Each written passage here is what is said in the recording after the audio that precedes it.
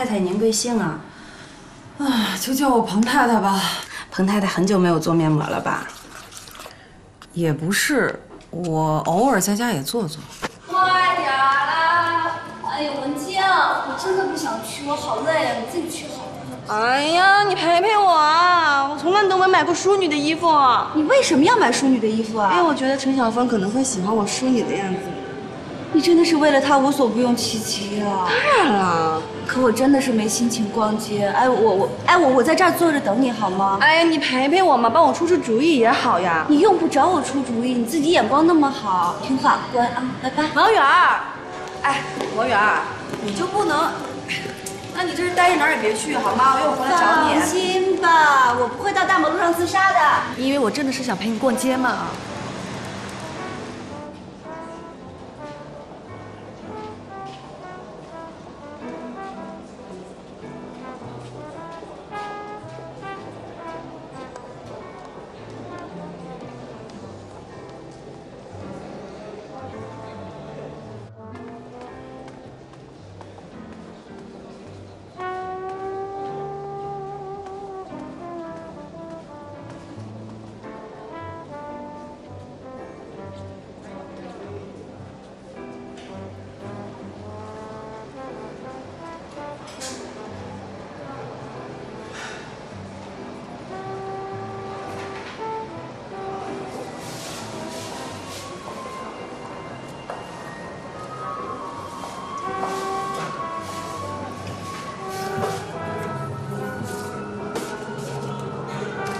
真巧啊！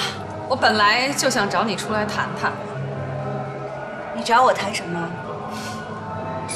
我和彭永辉结婚那么多年，可是有时候我发现，我其实一点都不了解他。也许男人也觉得不了解女人呢。那你了解他吗？好，我今天又和彭永辉吵架了。我对你们两个人的事儿不感兴趣。是，这是我们两个人的事情。可是如果不是因为你，我们会吵架吗？我知道你想让我跟彭永辉离婚，可是我劝你还是趁早死了这条心吧。你误会了，我从没有过这样的念头，而且一直以来我都没有向他提过任何要求。你有也好，没有也好，无所谓。我告诉你，彭永辉是不会离婚的，哪怕他只是为了孩子。我对你们两个人的事儿不感兴趣。我为了彭永辉，为了这个家庭，放弃了所有的一切，包括我自己。可是到头来我才明白，这种放弃，对于一个家庭来说，不是一种帮助，而是一种毁灭。你知道吗？从前，就算我们两个吵架，我也能感觉到彭永辉是心疼我的，是爱我的。可是现在，就算我们俩不吵架，有的时候我也害怕他那种眼神，充满了厌恶、嫌弃。我一想到那种眼神，我心里就一阵一阵的发冷。你别得意，那如果是你嫁给了彭永辉，时间久了，日子长了，结果都是一样的。所以我想告诉你的就是，我绝不会轻易放弃彭永辉，我誓死都会保护这个家庭。坐着吧，我走了。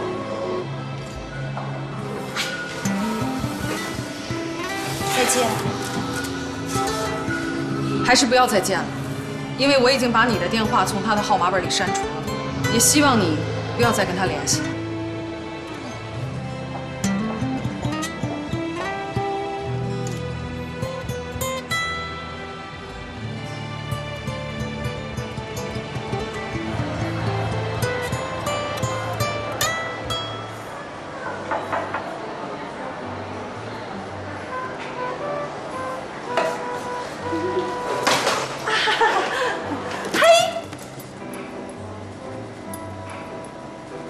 色为什么那么差？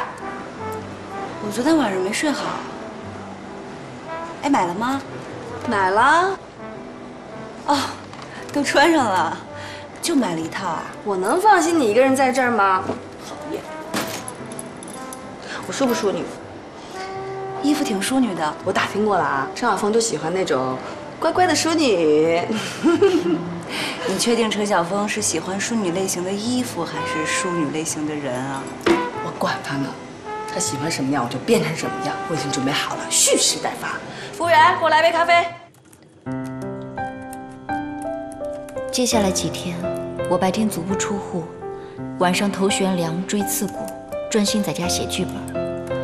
偶尔闷了，就到不远处的一个小酒馆，坐着喝点啤酒。我喜欢这里的安静，这里的音乐。在这喝酒的人只有固定那么几个，每人叫上一打酒，有些时候说话，有些时候不说话，什么菜都没有，也能从晚上六点喝到早上六点。樊斌始终没有给我打过电话。有时候恍惚的觉得，过去一切都是做梦，我根本从未认识过这个人。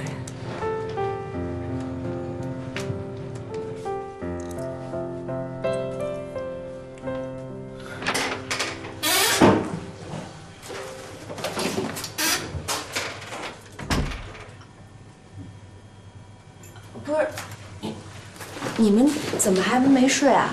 啊？小北啊，你跟我说实话，你跟樊斌是不是吵架了？你们就为这事儿啊？你看你这样，我跟你爸呀都不放心你。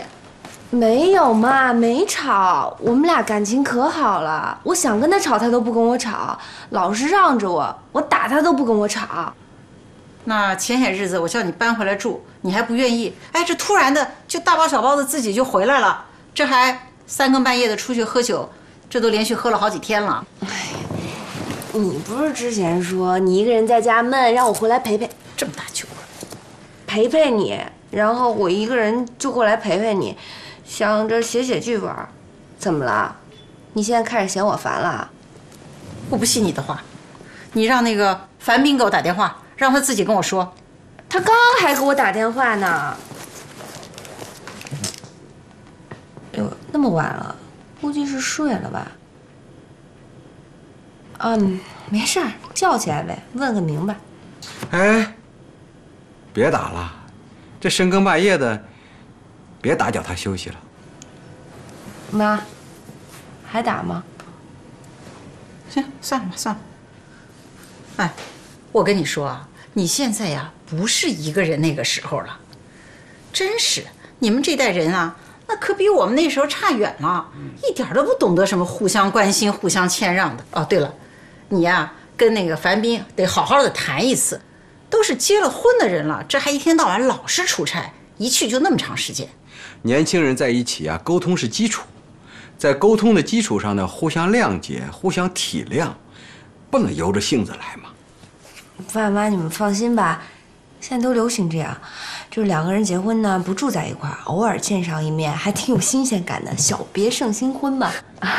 好，哎呀，你们就为这么点事儿不睡觉，我发誓以后再也不去喝酒了啊！去去，赶紧去睡觉去，走吧，爸，走走走，我再也不去喝酒了。真的啊？真的真的真的，快去睡吧，爸。哎，不让人放心。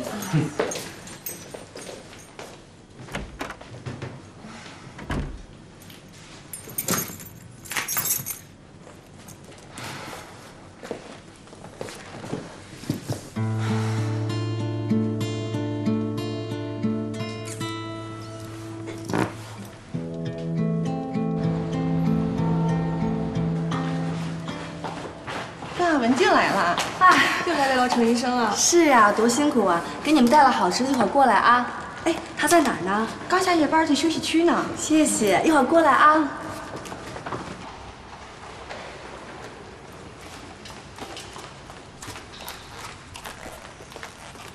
早上好。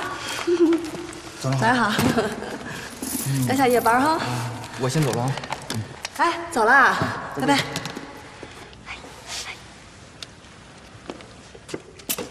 来尝一尝我亲手为你煲的汤。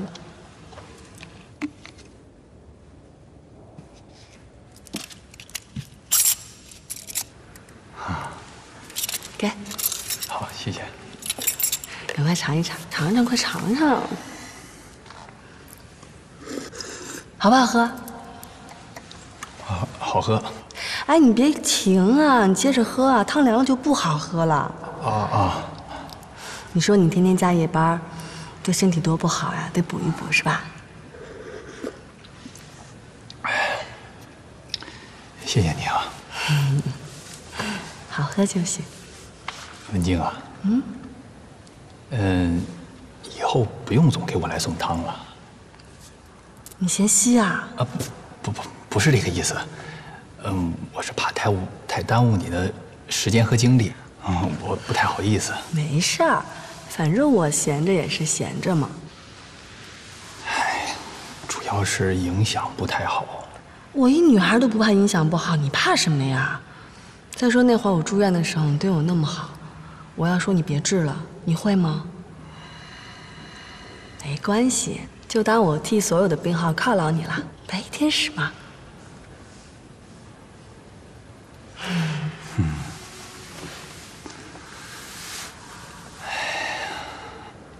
你是不是？你是怕你女朋友不高兴吧？不，这这只是一方面。哦。文静，我我的意思是，你看你一个女孩子吧，总这样跑来跑去的，真的真的挺耽误你时间的。你还有那么多事情要忙呢，是吧？没事没事没事，我知道了。我下次就不这样，你把这些东西都吃了吧。这还有蛋挞，补充点糖分。我先走了。哎，文，一定要多吃了哦。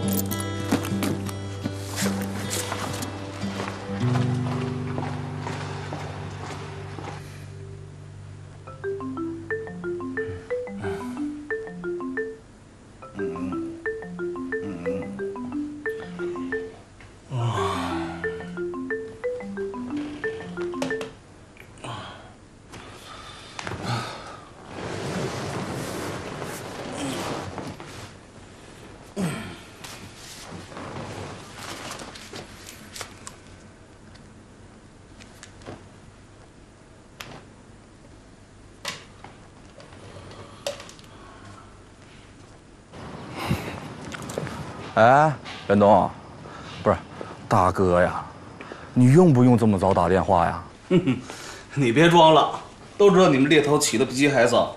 哎，我问你，王源工作那事儿怎么样了？哎，我说你就为了这么一个破工作，早上催晚上催，一天打三遍电话啊，你都快把我逼疯了，你知道吗？什么叫破工作呀？破工作你到现在也没找着呢。我跟你说，咱们哥们这么多年了，你别蒙我。哎呀，服了服了服了，我彻底服了你了啊！我现在就给你找去，一有消息啊，马上给你打电话，好吧？嘿嘿，好嘞，谢谢啊。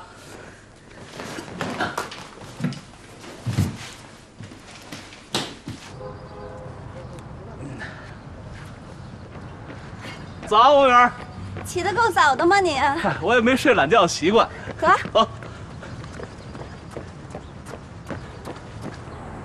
大公家那个小孩老实了吧？言听计从，百依百顺。那你这差不多也该撤了。为什么要撤呀？你不是说是给自己来个拓展培训吗？这都好几天了，也该走了。嗯，还不到时候呢。我现在觉得干这份工作挺有成就感的，不像以前觉得那么丢人了。等到找到合适的工作再撤吧。嗯，工作找顺利吗？递了好多简历了，就是没有回音。其实找工作你也别着急，你条件这么好，不愁找一好的，啊。谢谢。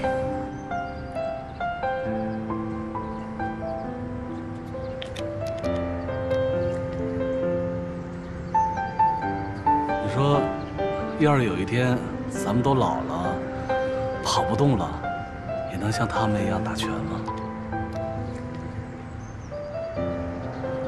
你会吗？这有什么不会的？看我的，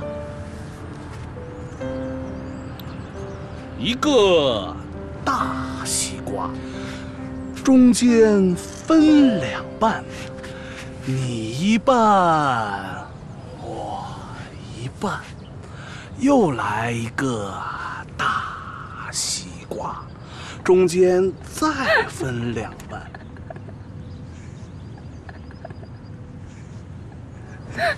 笑了，你知道我笑什么吗？笑什么？大西瓜。你不能再胖了，胖子。哎，哎，这两天怎么没看着小北啊？他跟樊斌分居了，搬回他妈家住了。分居了？你呀，老这样，总跟个孩子似的。特别好吃妈，真的。哎，你这怎么做的？是不是先把它包成饺子，然后压瘪了就成这样了？你见过这么大的饺子呀？我说你啊，也该跟我学着做点饭了。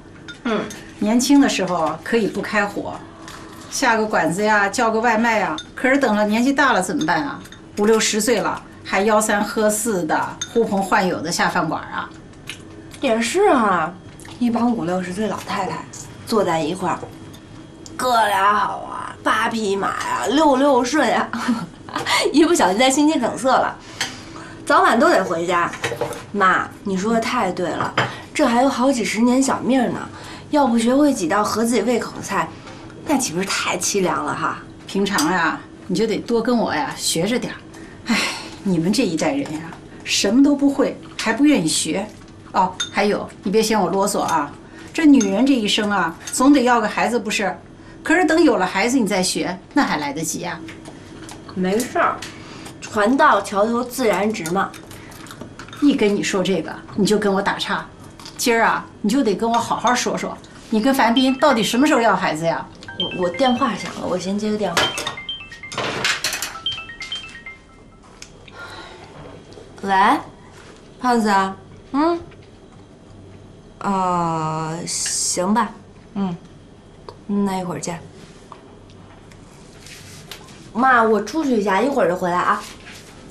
哎小北啊，今天主要跟你说说你跟樊斌的事儿啊。王源告诉你的吧？你别管，这消息来源不重要，重要的是出了问题怎么解决。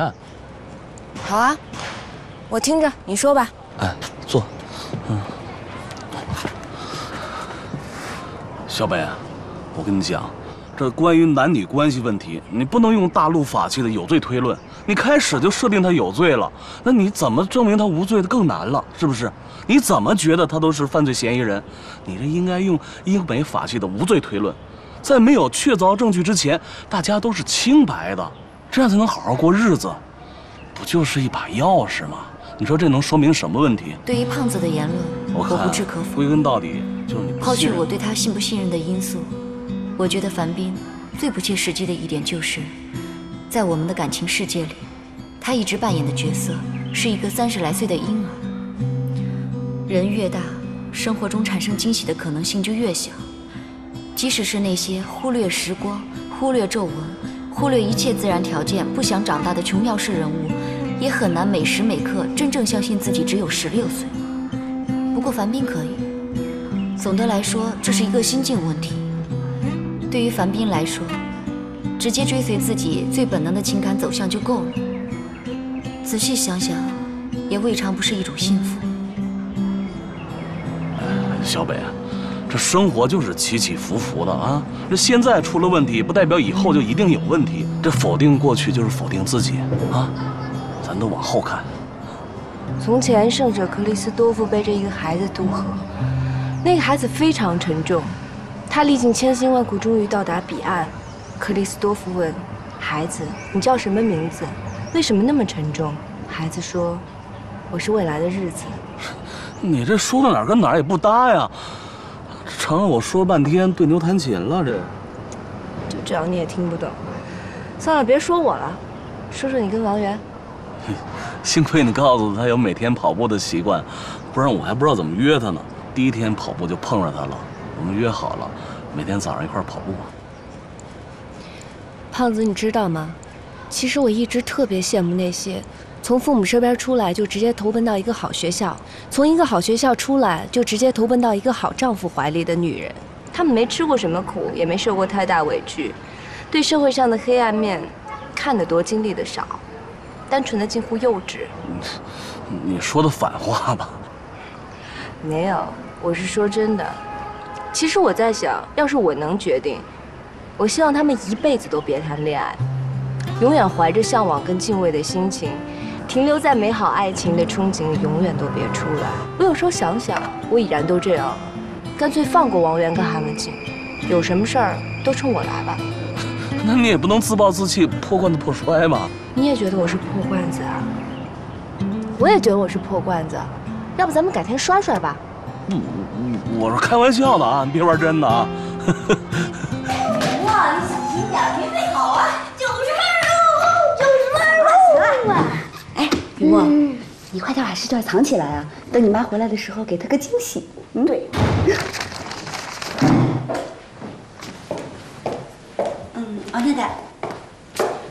怎么了？他今天是不是又犯错误了？雨墨，自己跟妈妈说吧。今天又考英语测验了，又没考好吧？哎，这孩子功课是样样都好，就是英语不行。说吧，考多少分？是不是又没及格？当当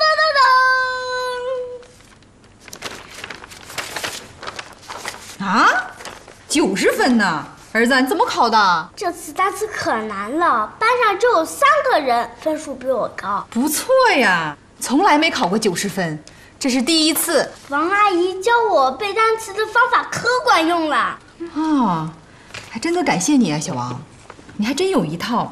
没想到孩子进步这么大，举手之劳嘛。嗯，我上大学那会儿做过家教。啊，哦，对了，王太太，我明天想请一天假。家里有事啊？不是，我想去一个招聘会，碰碰运气吧。打算找工作了？其实一直都在找，就是没碰到合适的。哦，好，你去吧。谢谢。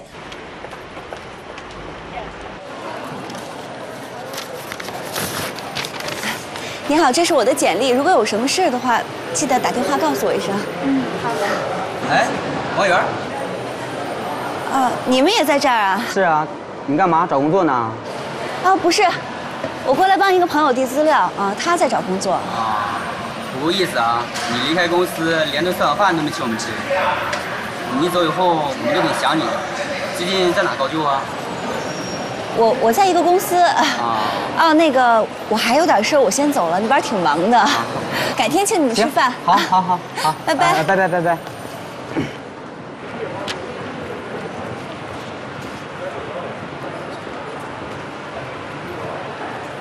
彭总，您出差回来了啊？我过来看看。啊，招的怎么样？嗯，反正简历收了不少，回去慢慢挑吧。人真多，刚才还看见王源了。王源？嗯。他也过来找工作？帮朋友投简历，就在他们公司。啊。啊，小姐，我想看一下这份简历。好。谢谢啊。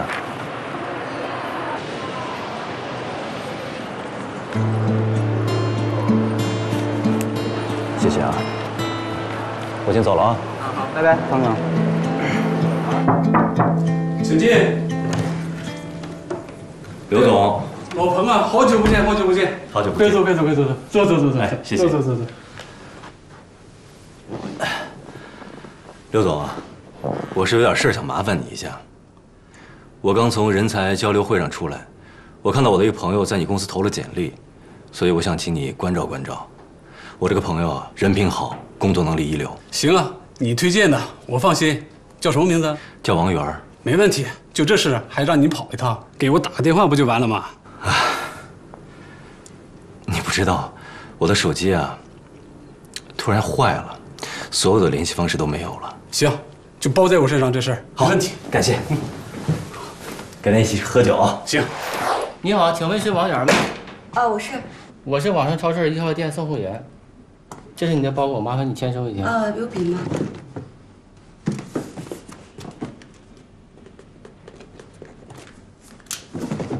谢谢。好，再见。谢谢。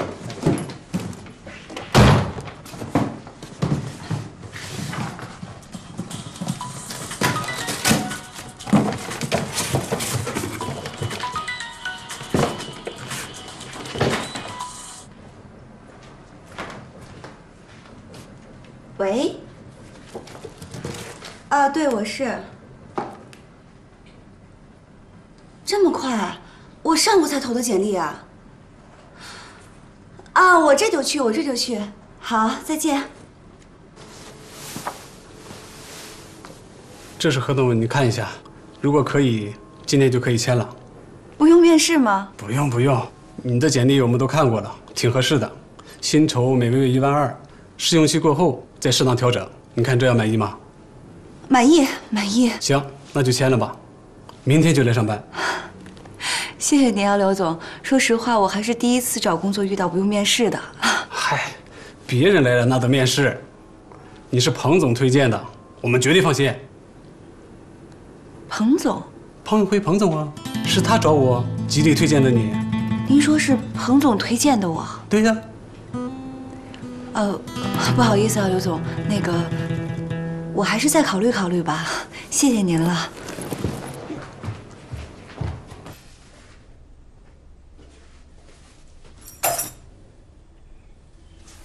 回来了，嗯，没准备你的饭啊，我也不知道你哪天回来。不用，其实我也不知道我哪天该回来，你什么意思啊？就这个意思。哎，你说你三四天才回来，然后一个电话都没有，回来就摆副臭脸，你给谁看呢你？我三四天不回来，怪谁啊？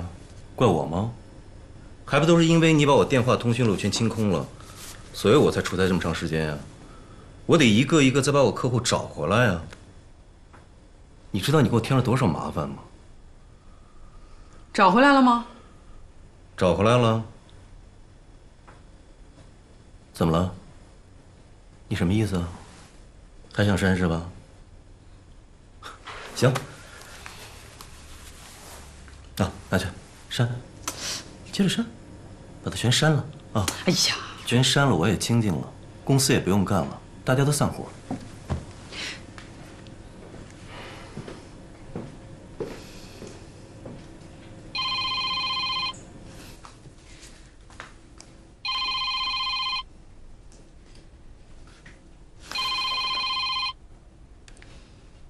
喂，老刘啊。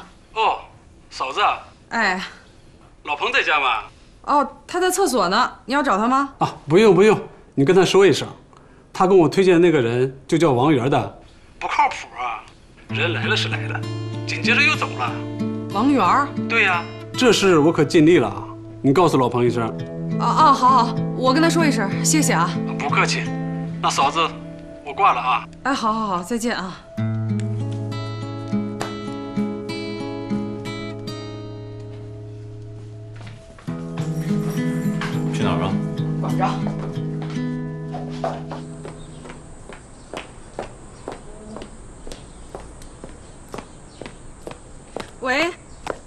老刘啊，啊啊啊，是这样，呃，我想问一下，就刚才叫王源那个，他的简历上是不是有他的家庭住址啊？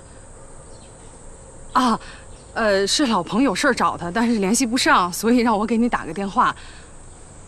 啊，好好好，你说。啊，好，我我记住了，好，谢谢啊。你们大家伙看看，啊，看看，就是就这叫王源的，勾引我老公，破坏我的家庭，他连工作都是我老公给找的。你说这什么人啊啊！你说要是这种人住在你们小区，啊，你们败坏你们小区的名声是不是啊？就记住了，就是这叫王源的，就是他。他就是王源，就是他破坏我的家庭，勾引我老公，就是他。你看什么看？我说错了吗？大家看清楚了，这就是小三儿，就他破坏我的家庭。你干什么呀？你害我干嘛呀？留下你诽谤我的证据。我诽谤你？对，就是诽谤。我跟你老公什么事都没有，你这样做就是诽谤我，我可以告你的。呦呦呦！哎，你们大家听清楚啊，还告我呢？这不是公然威胁我吗？告我！你告我？你有什么本事啊？你连工作都是我老公给你找的，你有本事吗你？有能耐你自己找去啊！你干什么呀？怎么回事？干嘛呀？小区里大吵大闹的，像什么样子？你谁呀？大家都你谁呀？都回家吧。怎么随便就让外人进来呢？王源，你给我站住！走，跟我走。不不要脸，破坏别人家的小三儿！哎，各位妹妹们，赶紧回家把你们的男人都看好了，知道什么吗？防火、防盗、防小三儿。刚才那是怎么回事啊？我之前在一个朋友的公司工作，他太太就误会我们之间有什么，后来我就辞职了。今天我那个朋友又给我介绍了份工作，所以他太太又误会了。哦，那你找到工作了？我放弃了。女人呐，就想在社会上立足，或多或少得跟男人打交道。你那么想找工作，为什么不去呀？我就是不想让他帮我。本来误会就挺多的了，我如果再去他介绍的这份工作，那就更说不清了。王太太，谢谢你替我解围，不然我都不知道自己该怎么办了，太丢人了。小王，你原来在公司是做什么的？销售经理。哦，你听说过合创集团吗？当然听说过，我上大学的时候，老师讲案例就是用的合创的。你想没想过去合创工作呢？我不敢想，他们公司招聘挺严的，而且要求特高。我估计三年之后可能会有资格去应聘吧。我就问你，如果有机会去合创工作，你有信心能干好吗？如果职位适合的话，我当然有信心了。嗯，倒是有个市场部经理的职位，你感兴趣吗？您是在说笑吗？这是我名片，要是感兴趣，就先过来做一段时间试试。王太太，你你你是以后来我公司工作就别叫我王太太了，你得叫我张总。要是做得好，以后升职是不成问题的。我还有事先走了，你好好考虑考虑吧。要是可以的话，明天直接来公司找我。等你的好消息。啊，再见。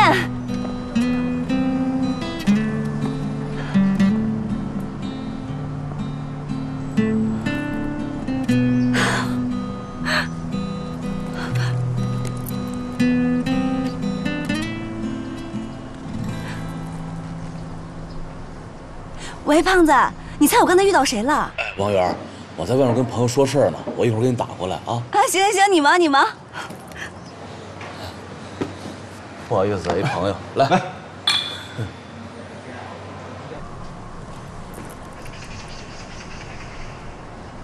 小北，你有空吗？嗯，我想跟你还有文静一起吃个饭，我请客。哎，哥们儿，跟你说那事儿可交给你了啊，咱说好了，来喝一个。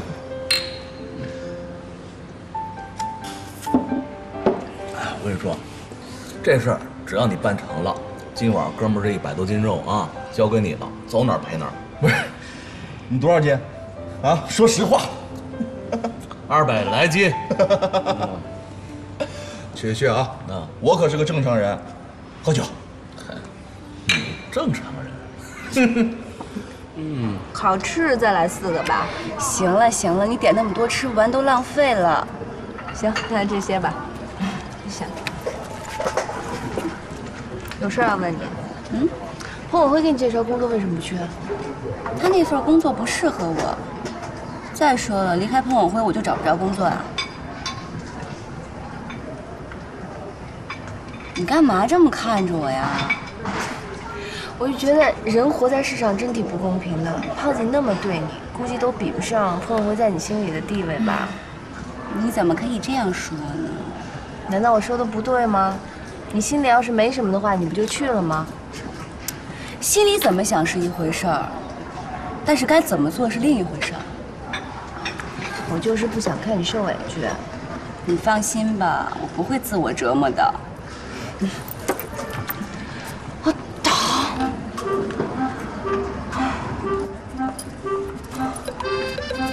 哎，小姐，您是那桌的吧？小北，你为什么要这个样子看我呢？太刺眼了，是吗？哪里呀？哪里有刺眼啊？你呀？哦，真的吗？哈哈，实在是太不好意思了。你现在开始转型了？人家都转型好几天了。常晓峰就喜欢你这类型的，跟鹌鹑似的。不好意思，你太恶心人了你！恶心恶心的就习惯了嘛。哎，韩文静，我特别有一个问题想问你，就是说，你这种角色上的错位转换怎么能那么自然呢？啊，是什么样的错位感呢？就比如说，把一个女流氓的灵魂放在一个淑女的身体里面。讨厌，他讲脏话。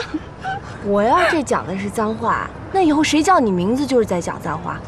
哎，你怎么这么韩文静啊？讨厌，讨厌。韩文静，你现在还吃减肥药吗？今天带几条裤子呀？冲上呀！啊，哪壶不提提哪壶。后背疼。这我的。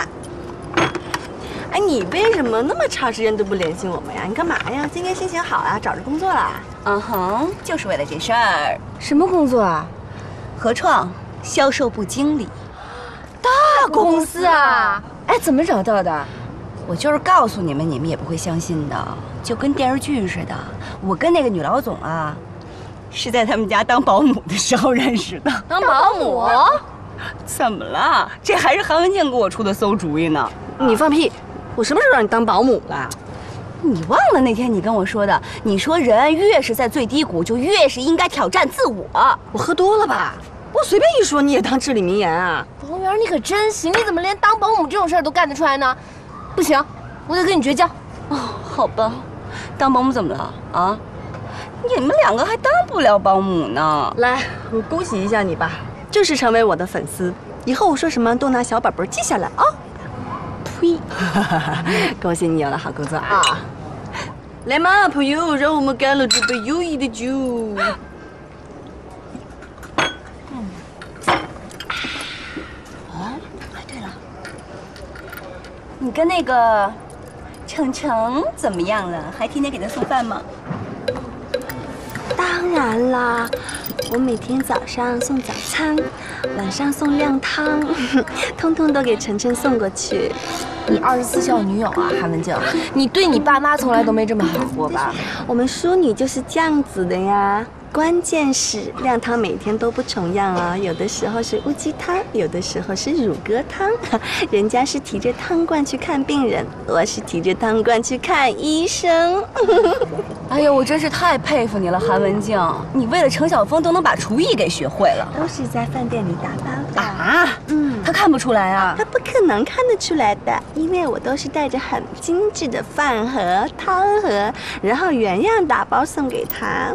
那陈晓峰什么态度？不要叫陈晓峰，叫程程，这样显得多身份啊！以后就是你们的妹夫啦，嗯，姐夫吧，妹夫。好，程程，那程程什么态度呢？他一开始呢还有点受宠若惊，后来就慢慢的觉得不对劲了。昨天晚上我去给他送汤的时候。他非常委婉的跟我说：“哎，以后不要这个样子了，影响不好。”这叫委婉啊？那什么才叫直接呢？你说的一点都对呀，你这也太伤感情了吧？胖子以前对你还不是这样的？哎，这些都是万杰教你的吧？对呀，万杰阅人无数，我相信他有效吗？当然有效了。现在医院上上下下的人都以为我是陈雅峰的女朋友。有一些不明真相的群众还亲切地称呼我为陈太太。嗯，哎，你们俩试试，试试嘛。哎，感觉很不一样的。陈太，哦，你好，怎么样？端庄吗？嗯哼，端着，装着。我跟你说，陈晓峰也不是个好鸟。你想想，他都有女朋友了，还任由你这么折腾啊？哎呀！怎么了你又？这又怎么了？周小北，你明天得陪我去见一个人啊！陪你去见什么人？